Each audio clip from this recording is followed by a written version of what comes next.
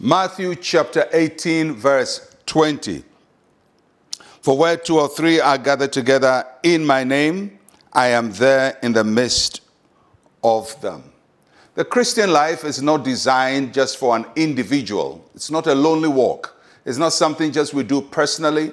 It's something we do also with other people because we are not the only Christian, there are other people. We are not the only child of God. God has other children. And God wants his children to be together. It's simply like a, a, father who has children. You don't want your children at home. Everybody stay in their room. Everybody stay in their corner. The family never sits at breakfast. They never sit together to have a meal. They don't sit around to have a chat because everybody is just in their space. That, that's not how a family runs, and that's not how God's family also runs. The Christian life is not just an individualistic life. And so Jesus is talking to his disciples, and he says, Where two or three are gathered together.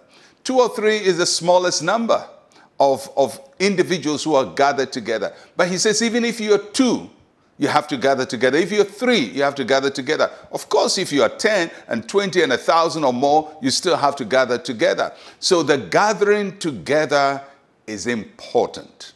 And I know that most of you uh, would say, you know, I, I, I, believe God is in my heart, Christ is in my heart. I, I just want my quiet and I, I want to have my peace. That's not how anybody works. That's not how a family works. And that's not how Christianity works. You have to gather together.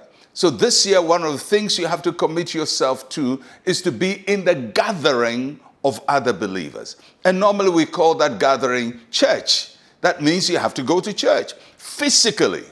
If there is, for some reason, uh, a crisis, so you cannot go to church, of course you can worship alone in your room online and, and participate in a service. But if there's no crisis and there's no emergency in your life, you have to gather together with other believers.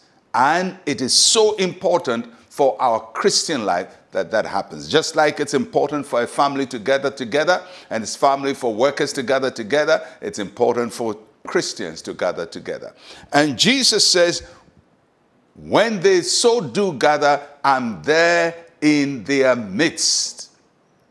You know, people would say, well, but God is in us, Christ is in me. Uh, what does it mean? Uh, does it mean if I don't gather together with other believers, Christ is not there? This being in their midst is not just about his presence, but it's also about his manifest presence. So when we gather together, he's present in us, but not just present in a stationary way, but he's present in a manifested way. When Christ lives in us, he lives in us, he's in us. But when we gather around with other believers, He lives in us and manifests Himself. It is in the company of other believers that we see the manifestation of Christ. Of course, that's where we see the greatest thing He says we should manifest that is His love. You cannot just be in, by yourself alone and love yourself. you have to be with other people uh, so that love can work. And love sometimes is a risky business because in loving people you get hurt and, and you get disappointed. But that's what love is. You learn to forgive, you learn to overcome pain, and you learn to overcome all kinds of things that happen to you. That's how you grow in love. You don't grow in love by being in your corner, not being hurt, not being offended. You're going to be offended, you're going to forgive, you're going to get along with your other brothers and sisters in Christ. That is true love. And that's how we manifest Christ. And of course, the power of Christ is manifested in the agreement of prayer of the believers. So, if you're going to do anything in this year as you gather, don't just gather things, gather yourself where believers are gathered. Be physically in church, be part of the church and what the church is doing, and let Christ be glorified in our lives. Let's pray. Say with me, Heavenly Father, you are present in the gathering of your people.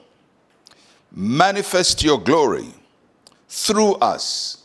In Jesus' name, amen and amen. Well, I'm going to catch you again tomorrow. I'm Pastor Mensa Otabil. Shalom, peace, and life to you.